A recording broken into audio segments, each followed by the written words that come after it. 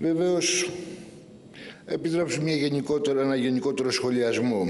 Η Βουλή τι είναι, είναι όργανο του αστικού κράτους και το αστικό κράτος βεβαίως είναι ένα κράτος βαθιά αντιλαϊκό, αντιδραστικό, το οποίο έχει διαμορφωθεί για να θωρακίσει την εξουσία της αστικής τάξης και τα συμφέροντα των επιχειρηματικών ομίλων.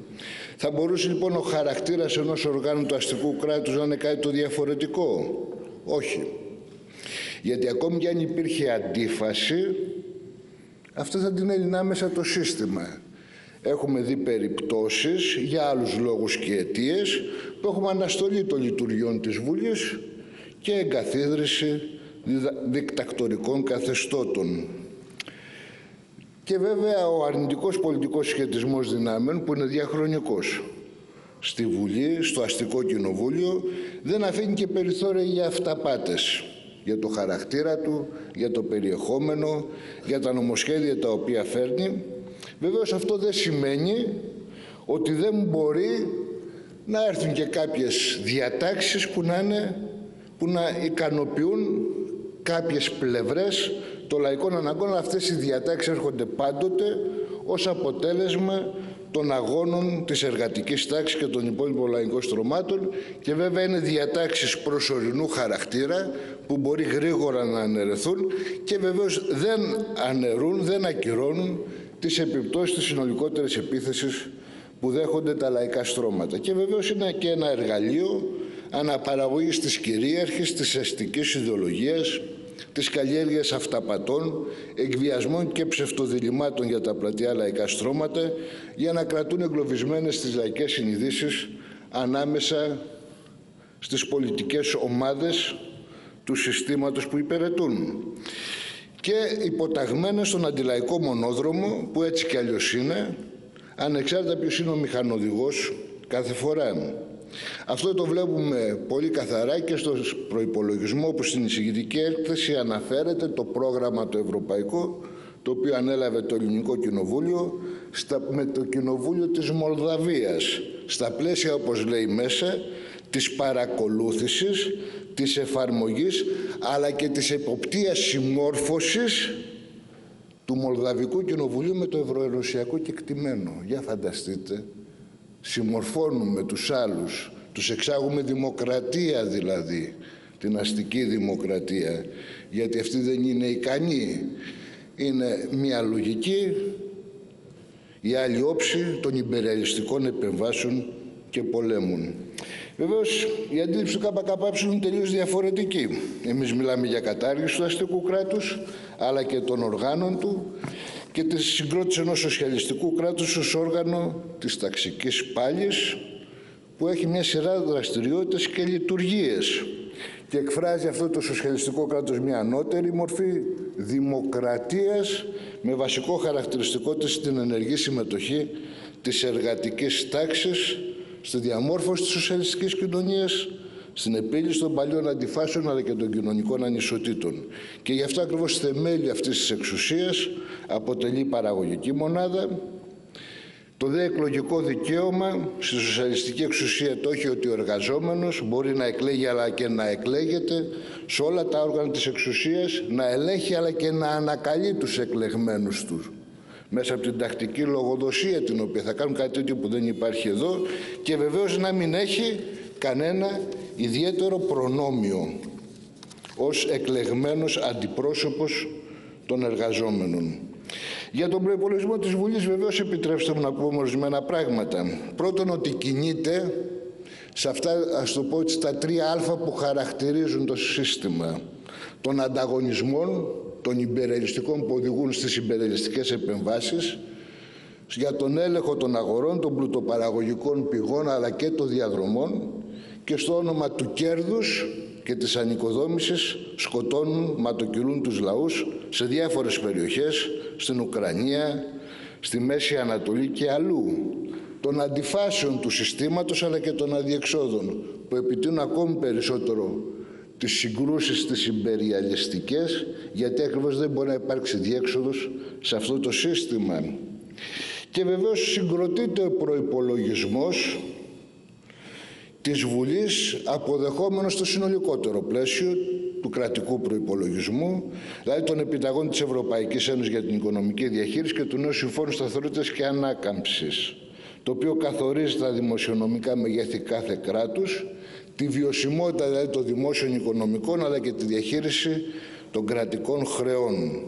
Έτσι λοιπόν έχουμε μια δαμόκλειο σπάθη που αφενός από τη μια αυξάνει τα φορολογικά έσοδα και από την άλλη μειώνει κρατάει παγωμένες τις δαπάνες τις κοινωνικές. Με καθορισμένα μεγέθη κάθε φορά στο όνομα των αντοχών της οικονομίας.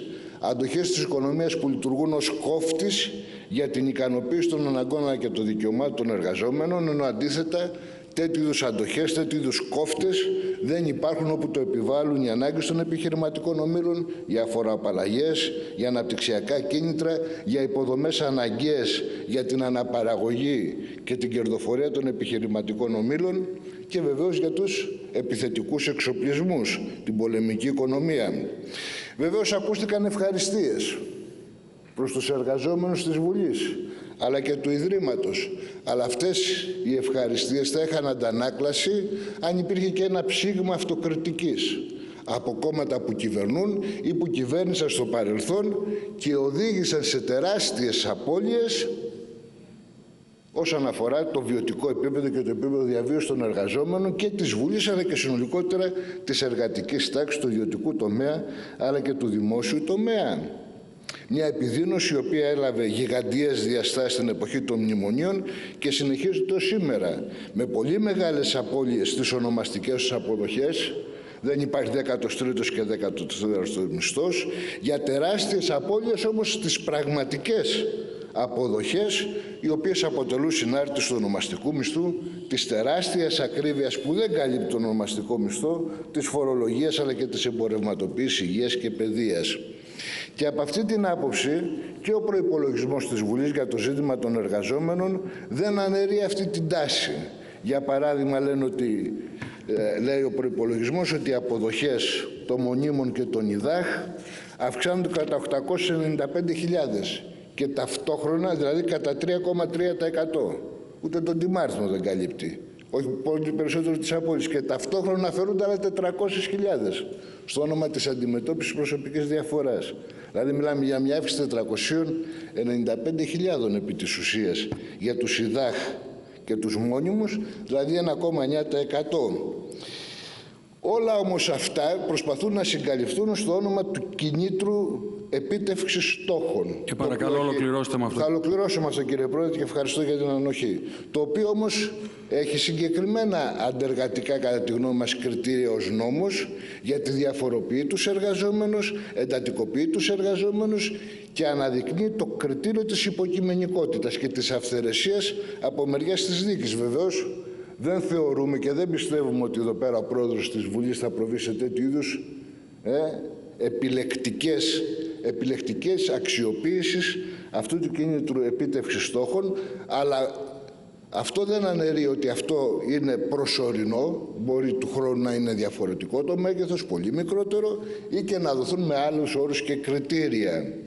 Από αυτή την άποψη λοιπόν εμείς ε, λέμε καθαρά ότι παλεύουμε για πραγματικές αυξήσεις στο μισθό των ε, εργαζόμενων και στη Βουλή και στον υπόλοιπο δημόσιο και στον ιδιωτικό τομέα για αποκατάσταση των απολύων επιστροφή του 13ου και 14ου μισθού και για κάλυψη των θέσεων με μόνιμο προσωπικό αορίστου χρόνου για να αντιμετωπιστεί η εντατικοποίηση της εργασίας. Για το ΔΕ Ίδρυμα της Βουλής, επιτρέψτε μου μια κουβέντα κύριε Πρόεδρε. Ναι, αλλά μιλάτε 10 λεπτά κύριε. Εντάξει, είναι ο μοναδικός ομιλητής από το ΚΟΚΟΥ. Είστε ο μοναδικός από το ΚΟΚΟΥ, όλοι από έναν έχουν βασικά. Εγώ απλά είμαι υποχρεωμένος στον κανονισμό έτσι όπως τον έχουμε αποφασίσει όλοι μαζί να προσπαθώ να τον τηρήσω. Παρακαλώ την κουβέντα σας. Λέω, για το Ίδρυμα της Βουλής δεν αμφισβητούμε το έργο του Ιδρύματος της Βουλής. Αυτό που αμφισβητούμε και είμαστε κριτικοί ως προς το περιεχόμενο, παράδειγμα ιστορικές αναδρομές στα πλαίσια της αναθεώρησης της ιστορίας, τα 80 χρόνια από το τέλος του Δεύτερου Παγκοσμίου Πολέμου θα αποκαταστήσουν την 9η Μαΐου ως ημέρα συντριβής του φασισμού και όχι ημέρα της Ευρώπης. Ένα παράδειγμα και δεύτερον, ο προσανατολισμός του είναι μονοσήματος με βάση τις αγγλοσαξονικές κατευθύνσεις, ούτε καν τις γαλλικές, τις γερμανικές, τις ισπανικές που να αποτελούν παραλλαγή της αστικής αντίληψης για τις κοινωνικές επιστήμες και να μην μιλήσουμε βεβαίως για τον επιστημονικό σοσιαλισμό και τα εργαλεία που έχει για να διερευνεί τα κοινωνικο-οικονομικά φαινόμενα. Από αυτήν την άποψη κύριε Πρόεδρε, εμείς θα ψηφίσουμε παρόν και στον προϋπολογισμό της Βουλής και στον απολογισμό βεβαίως ένα παρόν που είναι πολιτικό και δεν σχετίζεται με την χρηστή διαχείριση από μεριάς και της ε, των υπαλλήλων της Βουλής αλλά και του Ιδρύματος των Οικονομικών της Βουλής. Δεν έχουμε καμία αμφιβολία, έχουν τηρηθεί σωστά τα οικονομικά μεγέθη αλλά για πολιτικούς λόγους ψηφίζουμε παρόν.